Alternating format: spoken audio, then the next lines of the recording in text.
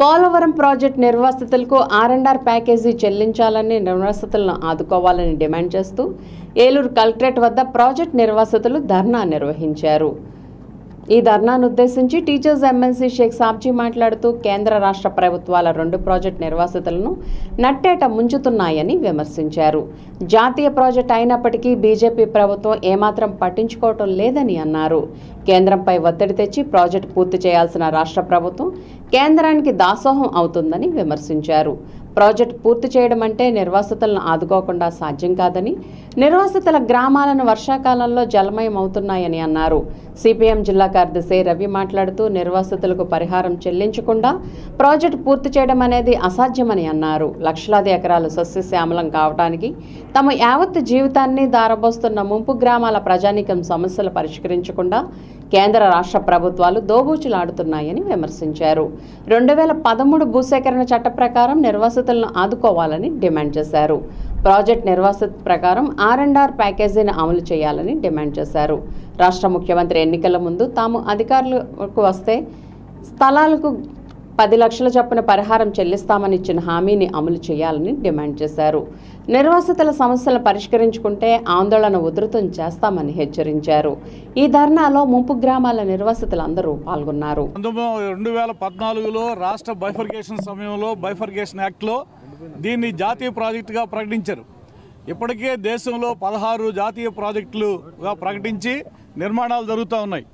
Polavaram project నిర్మాణ బాధ్యతని రాష్ట్ర ప్రభుత్వం తీసుకుని ప్రారంభించి చాలా వరకు పని పూర్తి చేసేటువంటి దశకి చేరిన దశలో కూడా దీనిలో నిర్వాసితులు అవుతున్నటువంటి వారి గోడు పట్టించుకున్నటువంటి నాదులు లేకపోవడం దుర్మార్గం.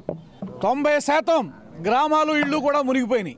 ఇటువైపు ఉన్నటువంటి ఏలేరుపాడు కుకునూరు మండలాలు తూర్పు వైపున ఉన్నటువంటి ఆరు మండలాల్లో ఉన్నటువంటి ప్రధానికం పరిస్థితి. అంటే మీ లెక్కలు దొంగ లెక్కలా కాదని చెప్పేసి నేను ప్రశ్నిస్తూ ఉన్నాను.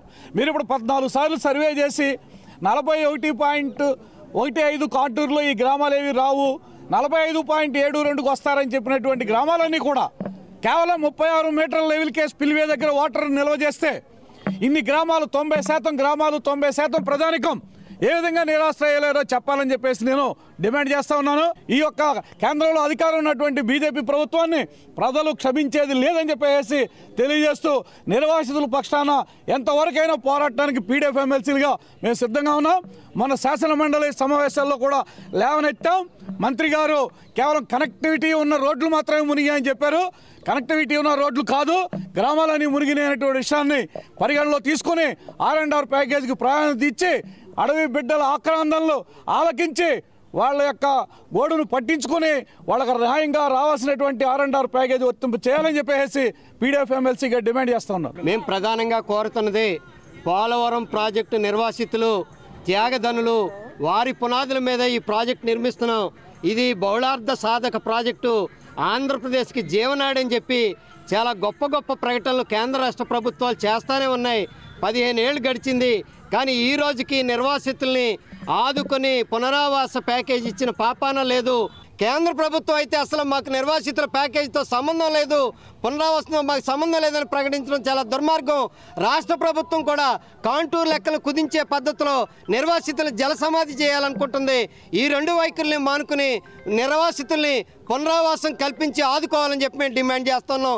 ఆ విషయాన్ని కలెక్టర్ గారి ద్వారా ప్రభుత్వానికి తెలియజేయాలనుకుంటున్నాం. ఈరోజు పోలవరం అనే పేరు చెప్పి కేంద్ర రాష్ట్ర ప్రభుత్వాలు పోలవరం నిర్వాసిత జీవితాలతోని ఆడుకుంటా ఉన్నాయి. పోలవరం నిర్వాసితులుగా ఆనాడే మోడీ గారు చెప్పారు ఈ ఆంధ్ర రాష్ట్రానికి అప్పుడు చంద్రబాబుకి ఇప్పుడు జగన్మోహన్ రెడ్డి గారికి ఒక ఏటీఎంగా మారిపోయింది. మా ప్రతిసారి పోవటం పోలవరం పేరు చెప్పడం డబ్బులు తెచ్చుకోవటం వేరే వాటికి మళ్ళించటం. ఇక్కడ నిర్వాసితులు మాత్రం అనేక బాధలు ఇబ్బందులు. కాబట్టి ఇప్పటికైనా కళ్ళు తెరిచి కేంద్ర రాష్ట్ర ప్రభుత్వాలు పోలవరం నిర్వాసితులకి న్యాయం చేయాలని లేని పక్షంలో పది లక్ష మొత్తం లక్ష ఆరు కుటుంబాలు మొత్తాన్ని లక్ష ఆరు కుటుంబాలు వచ్చి ఈ ప్రాజెక్టు మేము ఆఫ్ చేస్తాం. రే- జగన్మోహన్ రెడ్డి గారికి ఇదే ఈ దీని నుంచి అల్టిమేటం జారీ చేస్తున్నాం. ఖబర్దార్